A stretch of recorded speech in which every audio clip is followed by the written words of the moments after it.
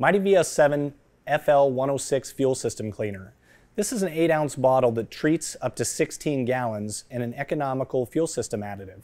We recommend that you fill it up with a full tank of gas for the optimal cleaning performance.